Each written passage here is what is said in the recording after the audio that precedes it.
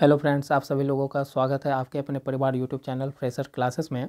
तो जैसा कि हम लोग प्रीवियस ईयर का प्रैक्टिस सेट नंबर 2023 मैथ का प्रैक्टिस सेट नंबर सिक्स कर रहे हैं तो उसका दो प्रैक, दो पार्ट जो है, वन और टू वीडियो आ चुका है। ये आपका तीसरा पार्ट है, इसमें भी हम कुछ उसका क्वेश्चन लेंगे, ठीक ना? तो आइए सॉल्व करते हैं। ये यहाँ पर आपको फोर और ये थ्री है, ठीक ना? तो क्या बोल रहा है ये क्वेश्चन कि परिमय संख्या इतना का दशमलव प्रसार दशमलव के कितने संख्या के बाद रुक जाएगा? तो कोई बात नहीं, ये आपको एक संख्या दिया हुआ है। ये आपका कैसे संख्या है? तो परिमय संख्या। परिमय संख्या वो संख्या होती है जिसको हम पी वाई क्यू के फॉर्म में लिख सकते हैं। तो यहाँ लिखा हुआ है पी वाई क्यू के फॉर्म में। तो यहाँ पर देखते हैं तो फोर्टी थ्री यहाँ पर पूछा है कि दशमलव प्रसार में, दशमलव प्रसार मतलब दशमलव प्रसार दशमलव के कितने स्थान के बाद रुक जाएगा? तो देखिए, एक टू बाहर ले लेते हैं। तो यहाँ पर टू का पावर थ्री और गुना फाइव के पावर थ्री, ठीक है? तो फोर्टी थ्री बाय टू, और यहाँ पर हो जाएगा दस पे पावर थ्री। तो मतलब फोर्टी थ्री बाय टू गुना में टेन टेन टेन, यही होता है। आप फोर्टी थ्री को काट दीजिए तो दो से, और एक से, और इतना बार में। तो यहाँ पर एक ज़ीरो एक ज़ीरो एक ज़ीरो तीन ज़ीरो यहाँ से ज़ीरो हटेगा तो ये ज़ीरो। तो टू वन फाइव इतना। तो देखिए टू वन फाइव एक, दो, तीन, एक, चार एर इतना। तो देखिए दस, दशमलव प्रसार पूछा दशमलव पर कितने स्थानों के बाद रुक जाएगा? तो कितना? एक, दो, तीन, चार स्थान के बाद रुक रहा है। तो ऑप्शन आपका सी राइट हो जाएगा। देखिए ना, चार स्थान बाद आया ना दशमलव। यहाँ पर वन है, ठीक है? तो इस तरह से हम लोग निकाल सकते हैं। पता कर सकते हैं कि कितने स्थान के बाद दशमलव प्रसार रुक जाएगा। आगे बढ़ते हैं। एक वर्ग के क्षेत्रफल का उसके विकर्ण पर बने वर्ग के क्षेत्रफल से अनुपात है।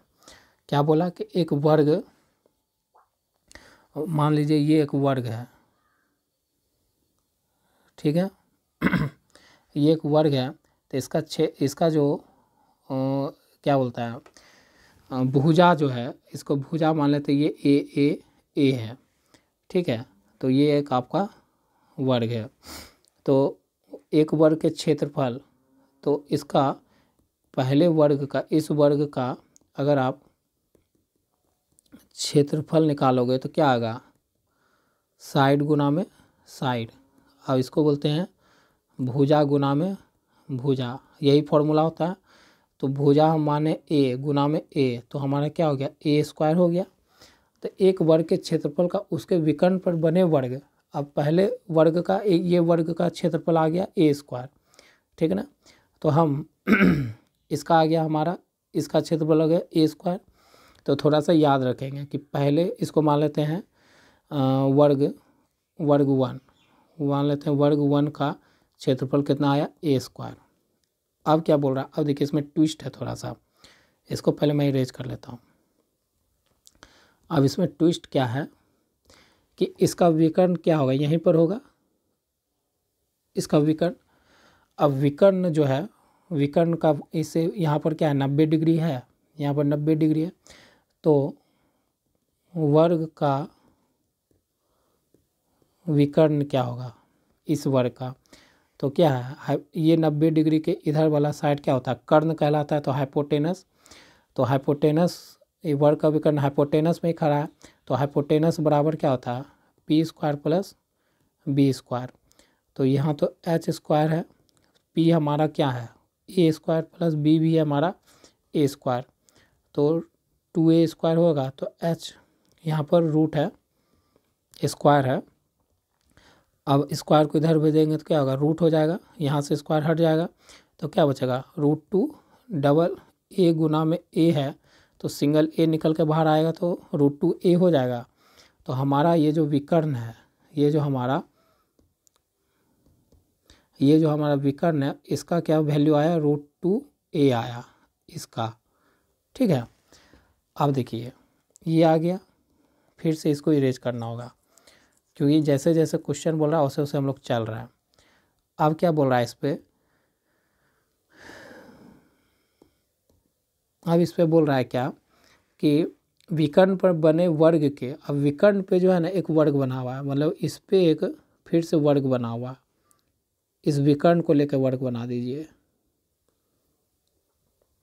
इस विकर्ण को लेके ऐसे वर्ग बना हुआ है। ठीक ना? तो इस विकर्ण का अगर रूट टू ए अगर मान है तो इसका भी तो रूट टू ए मान होगा इसका भी रूट टू ए मान होगा इसका भी रूट टू ए मान होगा तो अब इस विकर्ण पर बने वर्ग का क्षेत्रफल बताइए। तो विकर्ण पर बने वर्ग का क्षेत्रफल।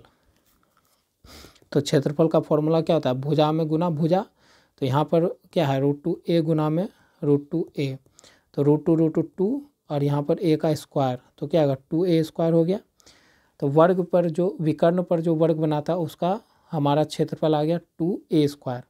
अब इसी का क्या बोला? अनुपात बोला है। तो इसका अभी हम तो अनुपात यहाँ से अब कर लेते हैं। तो यहाँ पर बोला है पहला वर्ग का तो वर्ग प्रथम वर्ग, और इसको मान लेते हैं वर्ग टू। इसको हम मान लेते हैं वर्ग टू। तो वर्ग टू का अनुपात तो पहला का कितना है? A square. यहाँ पर देखिए और दूसरा का क्या निकाले? टू ए स्क्वायर तो ए स्क्वायर से स्क्वायर खत्म तो वन बाय टू तो क्या निकला? वन अनुपात दो। तो आपका ऑप्शन राइट क्या हो गया? सी। ठीक ना? आगे बढ़ते हैं। सभी समीकरण युग में लिखा चित्र एक दूसरे के समांतर हो, उसे कहते हैं। उसे क्या कहते हैं? चालीस एक तरह का आपका परिभाषा पर वेस्ड है। तो देखिए, मैं यहाँ पर थोड़ा लिख देता हूँ। जब समीकरण के लेखा चित्र एक दूसरे के समानांतर होते हैं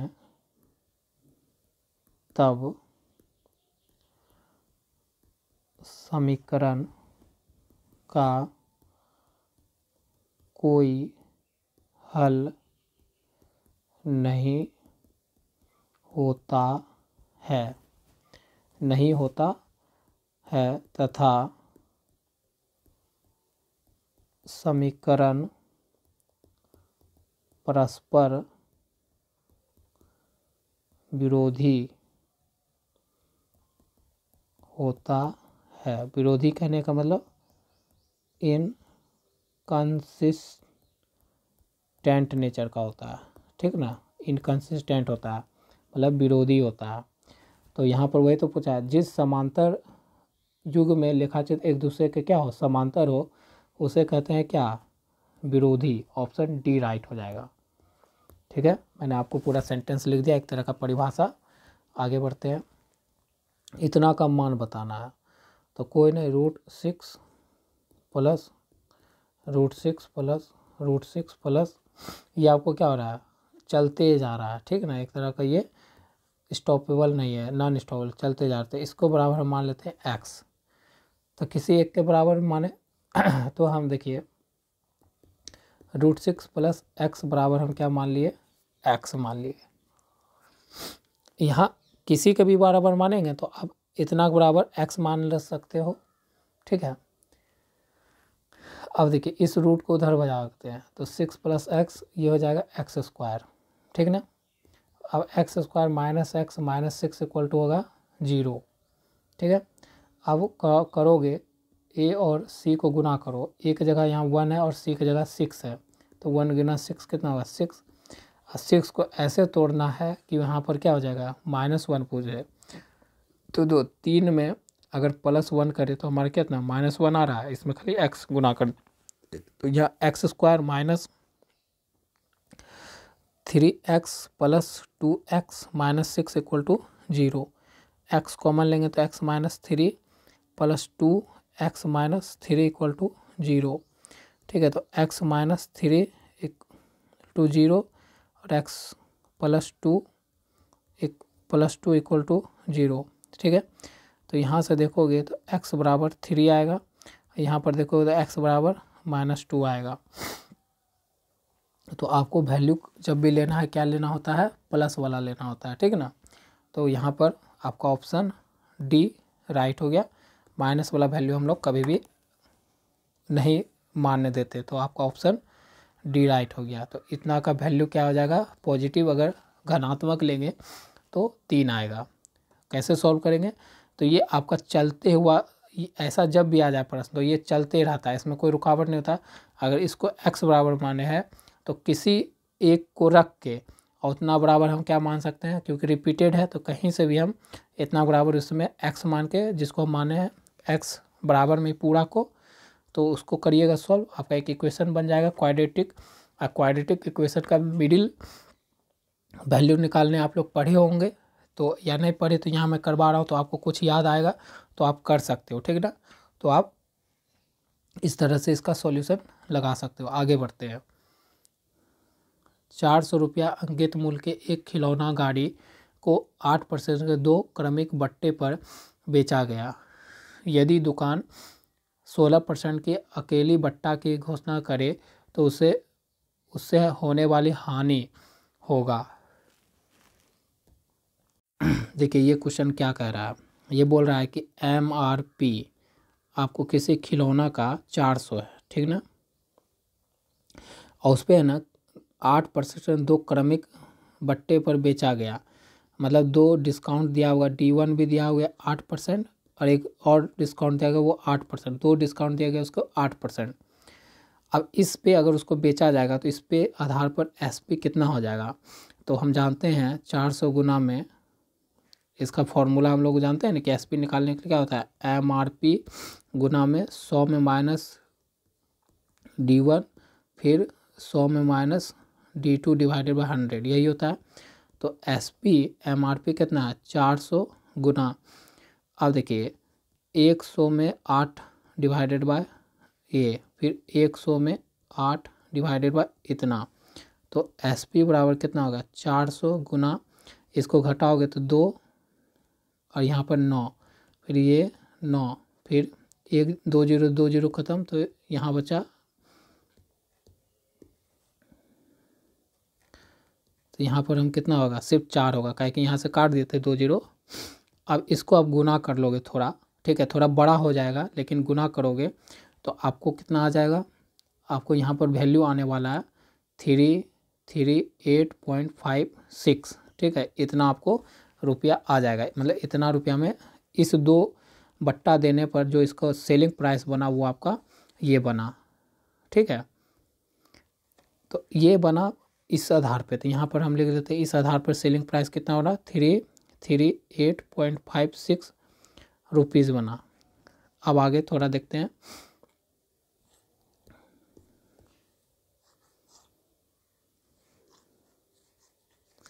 अब हम लोग क्या करते हैं? कि ये एक यहाँ छोड़ देते हैं अब आगे बढ़ते हैं। यदि दुकानदार मतलब आठ परसेंट दो बट्टा ना देकर सोलह परसेंट के एक अकेली बट्टा की घोषणा कर दे अब क्या बोल रहा है कि एमआरपी फिर से अगर वो वही रखे अब बट्टा सिंगल बट्टा मतलब डिस्काउंट जो है सोलह परसेंट का दे के एसपी पर बेच देता है तो एसपी पता कीजिए। तो फॉर्मूला आपको पता ही है कि एसपी निकालने के, के क्या होता है? चार सौ एम गुना में हंड्रेड में माइनस एक बट्टा, उस समय दो बट्टा दिया था आठ आठ, अब ये सिंगल बट्टा सोलह परसेंट पर बेच देना चाहता है। तो एस पी बराबर ये ज़ीरो से ये ज़ीरो ख़त्म तो चार गुना में इसको घटाइए, दस में चार और नौ में आठ एट्टी फोर तो एस पी बराबर कितना गया, सोलह हाथ में एक, बत्तीस और एक तैतीस, यही ना होगा। ये आ गया इतना रुपया। अगर सिंगल बट्टा सोलह रुपया का दे दे तो उसका कितना आ जाता है? कितना सेलिंग प्राइस बनता है? तीन सौ छत्तीस रुपया। तो देखिए, क्या उसको लाभ हुआ? अगर डबल बट्टा दे रहा था तो इतना पे बेच रहा था। और सिंगल बट्टा दे रहा था तो इतना पे बेच रहा। तो उसको यहाँ पर ला, हानि हो रहा है। तो हानि तो पूछा था आपसे। तो कितना हानि हो रहा है? तो हानि हो रहा है, बड़ा है आपका ये। और ये आपको three three six point five zero zero. घटा दोगे तो क्या निकलेगा? ये आपका निकलेगा फाइव सिक्स पॉइंट दो और यहाँ से ख़त्म ख़त्म। तो इतना रुपया का उसको क्या हुआ? है हानि हुआ। है जब सिंगल बट्टा पे बेचेगा तो उसको दो दो रुपया फिफ्टी सिक्स छप मतलब छप्पन पैसा का हानि हो रहा है। तो ऑप्शन आपका राइट बी होगा। तो इसका इसका मतलब आपको डबल बट्टा ऐसे तोड़ के दोगे तो आपको लाभ होगा। ठीक है तो ये आपको मैंने पूरा डिटेल में बताया, जैसे कि आपको अभी समझ में आएगा। इसका ऐसे बहुत शॉर्ट ट्रिक होता है तो वो मैं इसलिए अभी नहीं करवा रहा हूँ, क्योंकि आपको फार्मूला बेस सीखना है अभी, ठीक ना? क्योंकि आपको फार्मूला याद रहेगा। और मैं ट्रिक बताने जाऊँगा तो आप ट्रिक नहीं लगा सकोगे। क्वेश्चन अगर घुमा देगा तो।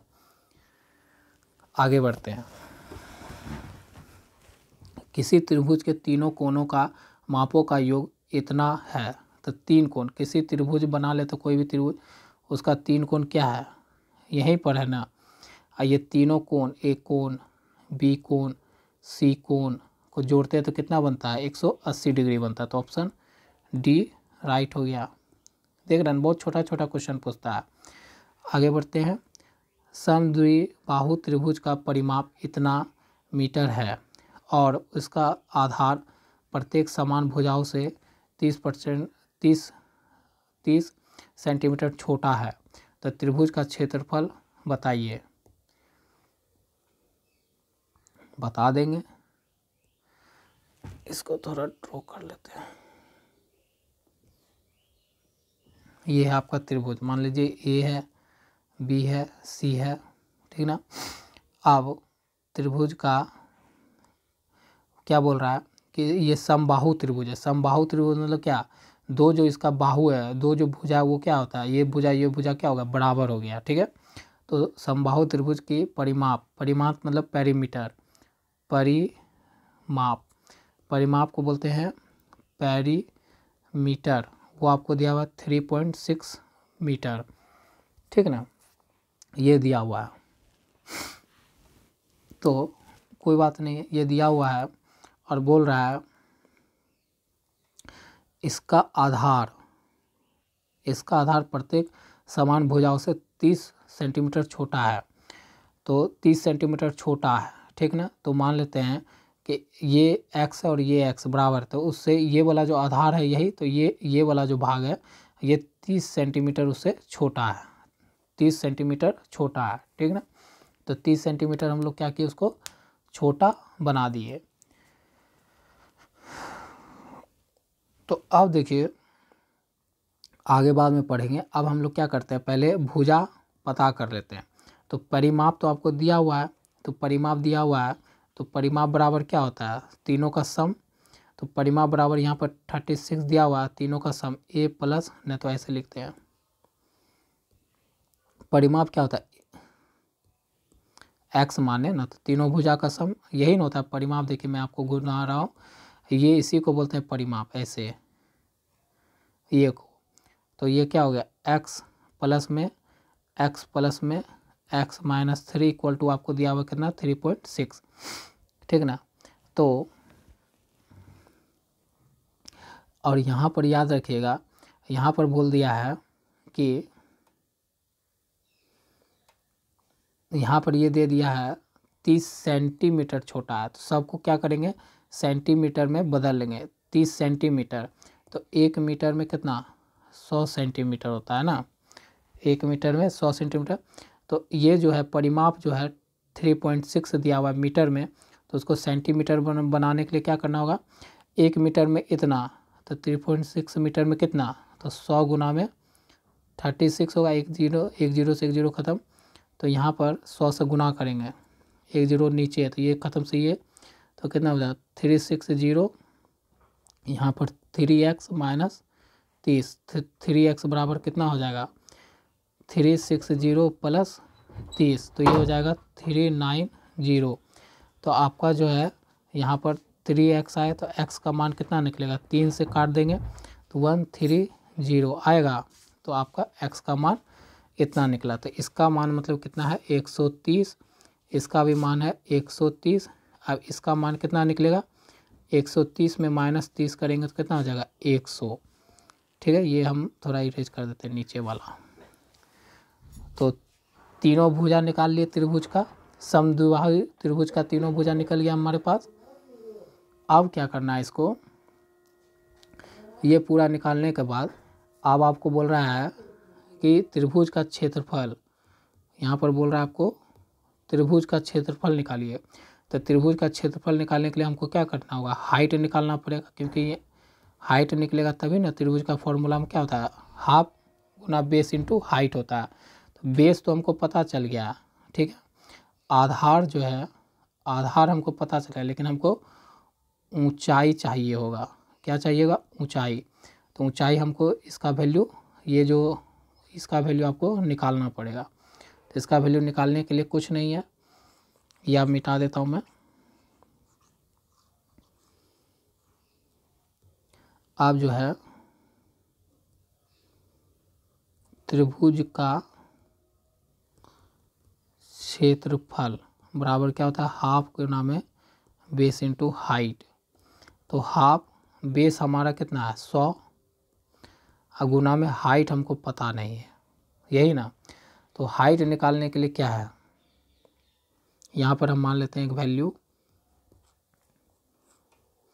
यहाँ पर वैल्यू मान लेते हैं डी यहाँ से यहाँ पूरा जो था, वहाँ था कितना था? सौ. तो सौ था तो आधा यहाँ पर कितना होगा? इसका आधा यहाँ आधा यहाँ पचास होगा। तो ये पचास और ये एक सौ तीस और यहाँ पर नब्बे तो ये हो गया कर्ण इधर वाला। तो हाइपोटेनस से हम देखेंगे तो एच बराबर एच स्क्वायर बराबर p square plus b square. तो एच तो हमारा 130 का स्क्वायर है, बराबर पी हमको निकालना ही है। अब बी हमारा क्या है? 50 है तो 50 का स्क्वायर। तो यहाँ पर one one six nine zero zero बराबर p square plus two five zero, यही होगा और एक ज़ीरो। तो हमारा पी क्या निकलेगा? One six nine zero zero में टू फाइव ज़ीरो ज़ीरो करना होगा आपको। तो ज़ीरो ज़ीरो चार चार एक। ये बना पी स्क्वायर बराबर। तो पी का मान कितना आएगा? अगर इस पर रूट चढ़ेगा तो बारह और ये ज़ीरो तो मतलब एक सौ बीस। तो हाइट जो निकला ये इसका वैल्यू वो कितना निकला? एक सौ बीस। दो से इसको काट दो। कितना बार में? पचास बार में। और गुना करो तो ज़ीरो, पचपन, दस। दो ज़ीरो दो ज़ीरो, पचपन, दस और पाँच एक छः। मतलब इतना क्षेत्रफल कितना है इतना मीटर स्क्वायर क्षेत्रफल क्या आ गया मतलब? इतना मीटर स्क्वायर। तो क्षेत्रफल, लेकिन इतना मीटर में है ना, आपको यहाँ पर पूछा, ये तो आपका पूरा आया सेंटीमीटर स्क्वायर में। मीटर में निकालने के लिए, सॉरी, यहाँ पर थोड़ा सा, ये आपका आया, ये जो क्षेत्रफल आया वो छः हज़ार सेंटीमीटर में आता है। मीटर में निकालने के क्या करेंगे? मीटर स्क्वायर में निकालेंगे उसको सौ से भाग देंगे। तो सौ से नहीं मतलब आपको कितना भाग देना होगा? एक मीटर में होता है सौ सेंटीमीटर, ठीक है? हमको आप सेंटीमीटर से किसमें जाना है? मीटर में तो किससे भाग देना होगा? वन बाय हंड्रेड से। लेकिन क्या स्क्वायर है? तो स्क्वायर को मतलब दो से किए तो और दो ज़ीरो, ये बना सौ गुना में सौ। तो यहाँ पर चार ज़ीरो है तीन ज़ीरो तीन ज़ीरो ख़त्म। तो बचा छः डिवाइडेड बाय तो zero point six meter square. समझे होंगे? जगह थोड़ा कम पड़ जाता है इसीलिए। लेकिन मैं समझाने का पूरा प्रयास करता हूँ। तो आपका क्षेत्रफल जो इस त्रिभुज का दिया हुआ वो निकला ज़ीरो पॉइंट सिक्स सेंटीमीटर। तो अप्रोच पकड़ना होगा। आपको मीटर और सेंटीमीटर दिखना होगा कि कहाँ पर मीटर कर दिया, कहाँ पर सेंटीमीटर अगर वो चीज़ करते हुए जाओगे तो आपका प्रश्न सॉल्व हो जाएगा। तो ये आपका लास्ट क्वेश्चन था। ये वीडियो को मैंने तीन पार्ट में लोड किया अपलोड किया हूँ यूट्यूब पर। तो आप लोग जो भी बच्चे तैयारी अच्छे से कर रहे हैं तो तीनों वीडियो प्लेलिस्ट में जाके देखें मैं part one, part two, part three कर दूँगा सेट वाइज तो सेट ये आपका था सिक्स नंबर